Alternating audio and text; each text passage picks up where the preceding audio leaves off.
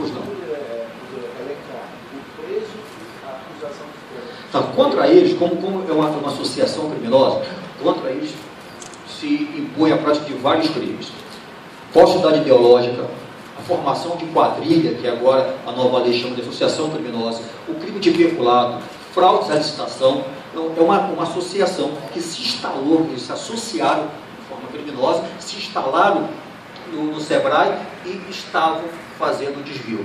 Para os senhores terem uma ideia, a, a vai dar maiores detalhes, mas quase 20% do orçamento do SEBRAE está sob investigação.